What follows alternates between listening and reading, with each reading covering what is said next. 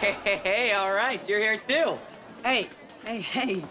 Don't handle the merchandise unless you intend on paying the price. Shawn, come on, it's me. First of all, I don't know who me is. And second of all, it ain't Shawn. It's Shawnzy. It's Shawn, we're best friends. Oh, see, I don't have any friends. I'm a loner. No, you're not, okay? You just think you are, but deep down, you really need a good buddy who's always gonna be there for you. Okay, buddy boy, why don't you, uh, hold this? Ping pong, huh? I love ping pong. Got a ball?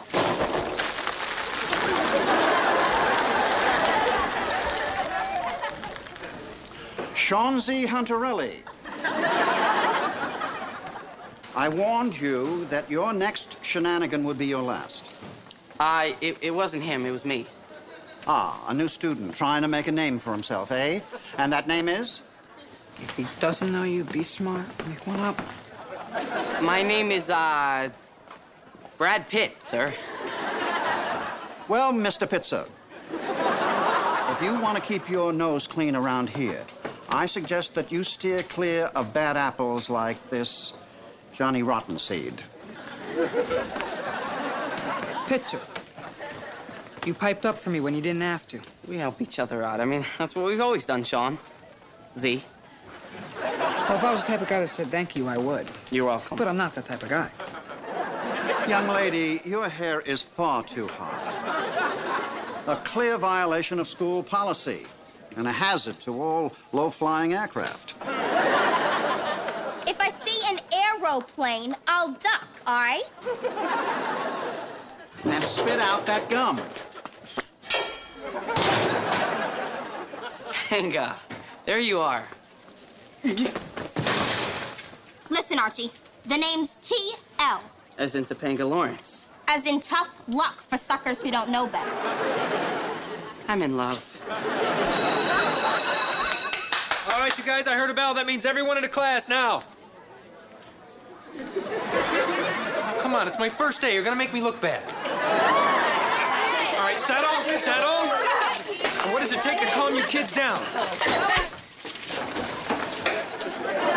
Go ahead, teach. Make your mama proud. Today's topic for discussion what will life be like in 40 years? Oh, yes. Okay, who wants to go first? Young lady, your hair is up. How about you, Shawnzy? What do you think life will be like in 40 years? I don't know. I don't know what I'm having for lunch. That was this close to a shenanigan. We have a volunteer. You bet you do. 40 years from now, I can say with total confidence a man will walk on the moon, pizza will have cheese baked right into the crust, and men and women will be equal partners in the workplace and in their relationships. What an imagination. Tell us more about that pizza. That's all I got. Good enough, because right now it's time to put on our helmets and practice our civil defense drills. The atomic bomb falls, we see a brilliant flash. Now, what do we do? We duck and cover. Correct. Here we go. Flash! You're dead, Brad. Mr. Turner, you're telling me that if the atomic bomb falls, I'll be safe if I go like this? No, no, no. You gotta drop to the ground, duck under desk, curl up, cover neck. And kiss your butt goodbye. All right. Who said that? Who said Ut Bay? I did, Mr. Turner. I said, but. That's it. This time you've gone too far, Hunterelli. For saying butt? This one's on me. How come? It's what we've always done. Oh, the ear thing.